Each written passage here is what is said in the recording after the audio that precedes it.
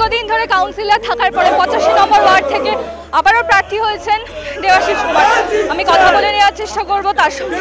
দাদা আপনাকে অভিনন্দন আবার প্রার্থী হওয়ার জন্য। হ্যাঁ। আপনাকে অভিনন্দন প্রার্থী হওয়ার জন্য। ধন্যবাদ। দীর্ঘদিন ধরে কাউন্সিলর ছিলেন। এই এলাকার যাবতীয় দায় দায়িত্ব আপনার ওপর ছিল। তো বর্তমানে এলাকার যা যা সমস্যা রয়েছে আপনি যদি আবার জিতে আসেন সেক্ষেত্রে কোন কোন সমস্যার দিকে নজর দেবেন? দেখুন আমি এটা বলতে পারি আমার এই অঞ্চলে এই ওয়ার্ডে বড় কোনো সমস্যা নেই। সেহেতু যেটা সমস্যা মানে পরিষেবা প্রতিদিন মানুষকে দিতে হয়। সেই পরিষেবা যাতে সঠিক ঠিক মতো পান সেটাই আমার দেখার লক্ষ্য। আমার এখানে বড় সমস্যা মানে পানীয় জলের সমস্যা নেই জল জমার সমস্যা নেই আলো আছে রাস্তা ঠিক আছে আর কি সমস্যা হতে পারে? বিরোধী পক্ষদের থেকে কি বলবেন? আমি এখানে কোনো বিরোধী পক্ষ আছে বলে আমি মনে করছি না। আগে তারা রাস্তায় নামুন তারপর বলব। দল তো এবছর বিভিন্ন রকম চমক এনেছে যেমন মহিলা এবং অনেক নতুন মুখ প্রার্থী হিসাবে উঠে এসছে। সেই বিষয়ে কি বলতে চান? আমরা তো আমাদের নেত্রী বলেছেন যে তারুণ্য এবং আরও অনেক বেশি মহিলা তাদের নিয়েই কলকাতায় মানুষের কাছে উন্নত পরিষেবা পৌঁছে দিতে হবে। তা আপনি জনসাধারণকে কি বলতে চান? এই সামনে আসন্ন পুরসভা ভোট। আমরা বলতে চাই উন্নয়নের নিরিখে কলকাতার উন্নয়নের নিরিখে আপনারা আমাদের আশীর্বাদ করুন সমর্থন করুন। অসংখ্য ধন্যবাদ আপনাকে।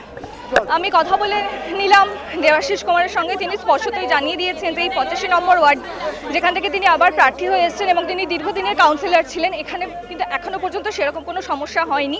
আগাম দিনে যে সমস্যা আসবে, তা যদি ফের দল যদি ক্ষমতায় আসে, তিনি যদি আবার যদি সেই পদ পান, আগাম দিনে যে জনসাধারণের সমস্যা আসবেন তিনি কিন্তু ঠিক আগের মতোই কিন্তু তিনি একইভাবে ঝাঁপিয়ে পড়বেন।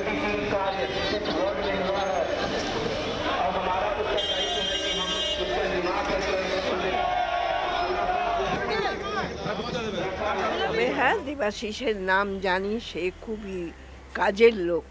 সে যাতে দাঁড়ায়, হয়, সেটাই চাই এই পর্যন্ত। আমরা জনসাধারণ চাওয়ার মতন আর ওনার কাছে কিছু নেই আমাদের। উনি সবটাই না চাইতেই দিয়ে দিয়েছে। শুধু উনি যে জনসেবা করে বা পৌরসভার এই কাজটা নিয়ে উনি ব্যস্ত, তা নয়।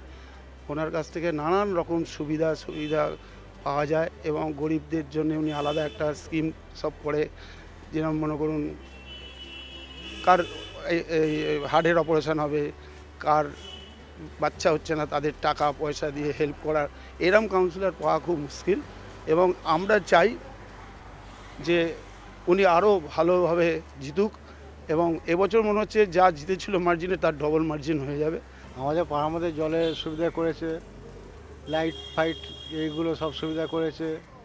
এমনি বস্তির মধ্যে যতগুলো অসুবিধা ছিল সেগুলো সুবিধা করেছে। মানে আমি ওকে দেবা বলেই ডাকি আমাকে বৌদি বলে। ভালো সত্যি খুবই ভালো সব কাজকর্ম উনি ভালোভাবেই করছেন। আমাদের মনের মতো নিল। মতামত বলতে দেখুন পৌর প্রতিনিধি হিসেবে উনি যা করবার ওনার যা করবার সেটা তো উনি আমার মতো মনে হয় উনি একশো ভাগ করেছেন।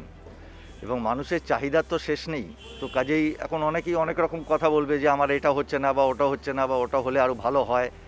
হ্যাঁ নিশ্চয়ই। এখানে ধরুন যে ধরনের মানে পার্টির তরফ থেকে বা ধরুন ব্যক্তিগত দিক থেকে উনি ওনার যা যা করণীয় আছে উনি প্রত্যেকটা কাজই মানে একশো শতাংশ করেছেন। এটুখানি আমি আপনাদের বলতে পারি। সবার জন্যই করে এবার শুধু মানে এই পাড়ার জন্য বা ওনার ওয়ার্ডের জন্য যে উনি করেন তাও নয় এটাও ঠিক কথা। উনি প্রত্যেকের জন্য করেন। ওনার কাছে কেউ এসেছে কেউ কাজ পায়নি বা কাজ হয়নি কানুর এরকম তো আমরা তো কোনোদিন শুনিনি।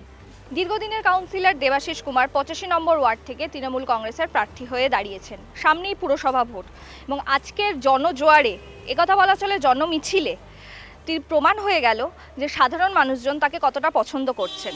বাকি উত্তর পুরসভা ভোটের পরেই জানা যাবে। ক্যামেরার শ্যামলের সঙ্গে রোহিতা সমিত্র, সমাচার প্লাস বাংলা, কলকাতা।